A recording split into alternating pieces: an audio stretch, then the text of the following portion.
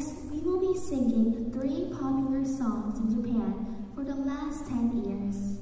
The first song, Hibi, is a song based on a story about an elderly couple reflecting on their life together.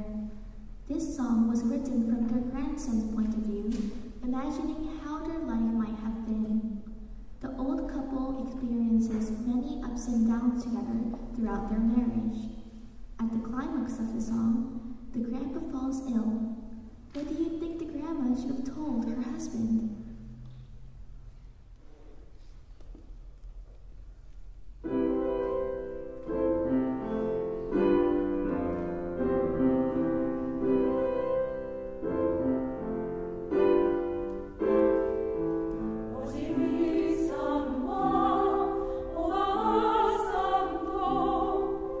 Meu